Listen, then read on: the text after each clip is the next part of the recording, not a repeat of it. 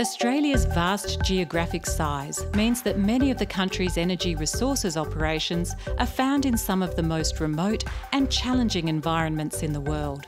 And with crucial spare parts often taking days or weeks to arrive on site, lengthy delays to normal operations can cost millions of dollars. But now, the entrepreneurial spirit, which has underpinned Australia's economic growth in recent decades, has come up with a novel solution.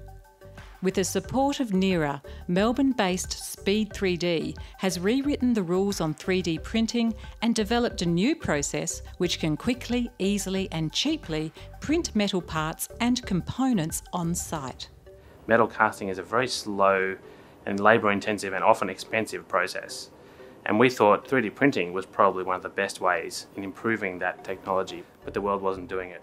Rather than waiting for days or weeks for parts to come through normal supply chains, we can print metal parts up to 45 kilograms in size, up to a metre in diameter. That's much larger than most 3D printers can do. SPEE3D's ability to quickly scale and commercialise their product was aided by NERA, which supported the development of their technology, particularly for the oil and gas industry. SPEE3D's technology is an amazing solution to being able to deliver um, these solutions at point of need. So they really are um, a great example of Australian know-how, collaboration and innovation. The development of this groundbreaking technology is enhancing Australia's sovereign capability in manufacturing at the same time as translating world-leading research into a truly commercial opportunity. And the potential financial savings, coupled with the rapid speed of deployment, means the technology has huge potential across many industries, including oil and gas. I'm really excited about SPEE3D's printing technology because it offers such a fast turnaround time, which is something that is often, particularly in Australia, a problem for us.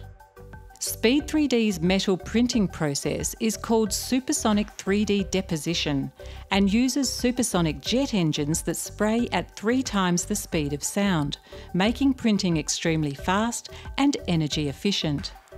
And while there's been strong interest from industry and even the military, SPEE3D's next step opens up new horizons in the energy sector. SPEE3D's movement into producing stainless steel as a 3D printed part is, is really critical because the energy sector, steel is their medium of choice. And again, the ability to produce those products at point of need using stainless steel will open up a whole new world for SPEE3D at a facility like an LNG plant uses an awful lot of stainless steel. And so it's that volume that really creates the opportunity for us as part of the LNG industry.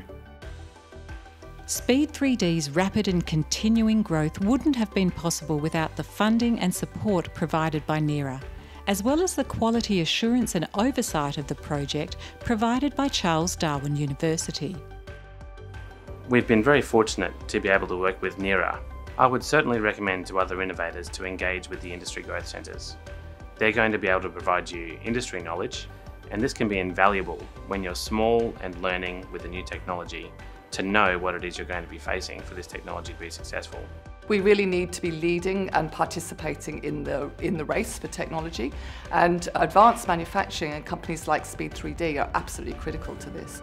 So I think SPEE3D is a, is a fantastic example of why collaboration is so important if we're going to be a smart country.